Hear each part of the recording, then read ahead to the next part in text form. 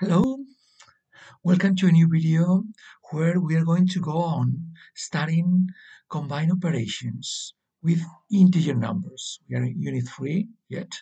Here we are going to learn how to solve this type of operations where you are uh, um, you have to solve addition, subtraction, multiplications, powers, divisions, okay? To do this, you have to follow, of course, the hierarchy of operations, BIDMAS, and you have to know the rule of signs. I recommend to watch first the video uh, that you can find in the blog or in my channel that explains how to do the multiplication and divisions with integer numbers, how to add and subtract integer numbers, where you're going to learn simple operations with additions and subtractions. And the first part of this video that explains how to do combined operations, but some uh, with integer numbers, but um, easier operations, okay? Easier combined operation than this. Maybe it can be considered the first part of this video. I also recommend you to revise the rule of signs and of course the hierarchy of operations. But anyway, let's go and solve the operations. Now, in this moment, you can stop the video if you think that you can solve it and solve these three examples. These three examples, solve it and then check it. Let's do it. So, what do we have? What we can find here? We can find that uh, there are some products. Okay, some product here. Addition, subtractions, and these brackets. These brackets are uh, used to isolate the negative number. Okay, so it is not a real bracket. We can apply it without solving this. Okay, let's do it. So we say 55. And now we have to solve this product, okay, because we have to start by solving the products. Let's solve the product. We say negative times negative positive 40 and the other one is negative times positive negative minus 8. Okay, here we have a positive, negative, and positive. Multiply. When we multiply all of this, we get negative 8. Now, as always, we add together positive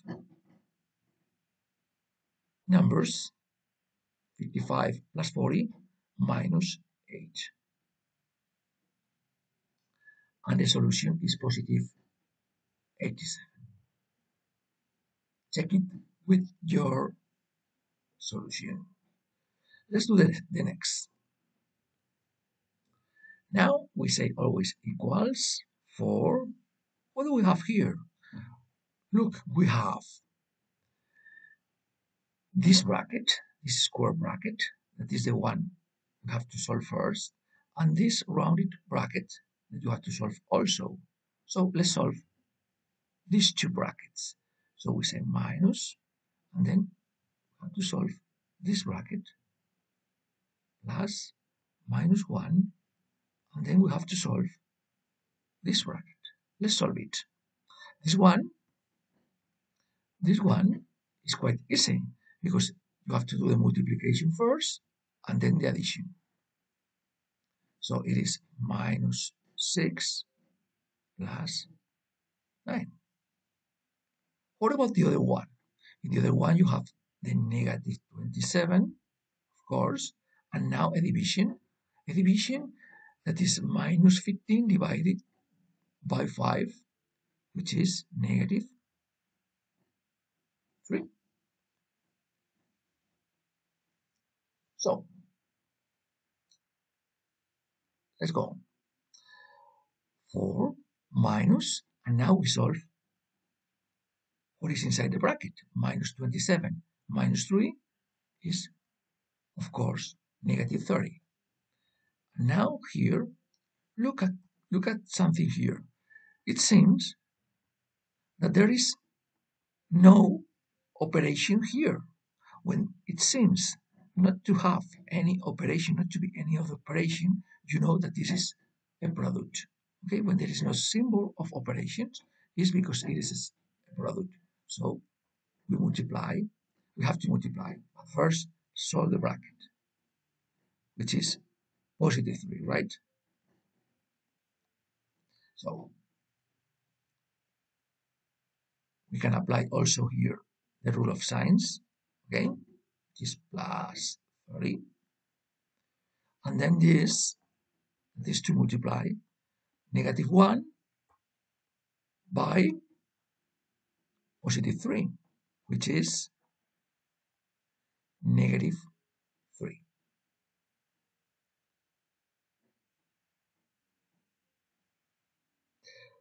Next step, add together positive 34 and negative. Only one, only three, sorry. And then the solution is 31.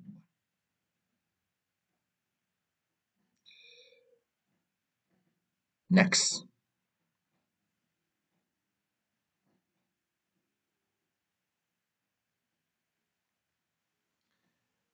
equals negative 11 minus, and pay attention to the bracket. We have a very big square bracket. That is what we are going to solve. But first, but inside this square bracket, we have this rounded bracket.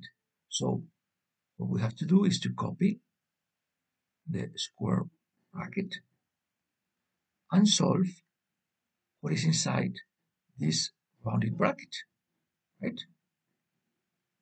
At the same time, we could solve this, but we are going to leave it for next step, okay?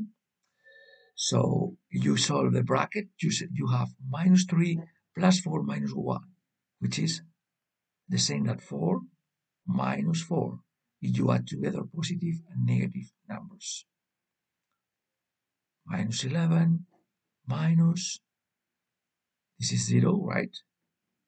0 squared is 0 minus 11 plus and then minus 3 to the power of 4 okay you know you have to revise the powers if you don't know it that when you have negative base and even exponent, the solution is positive.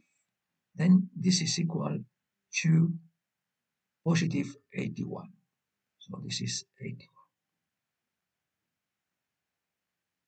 So finally, we solve this square bracket that is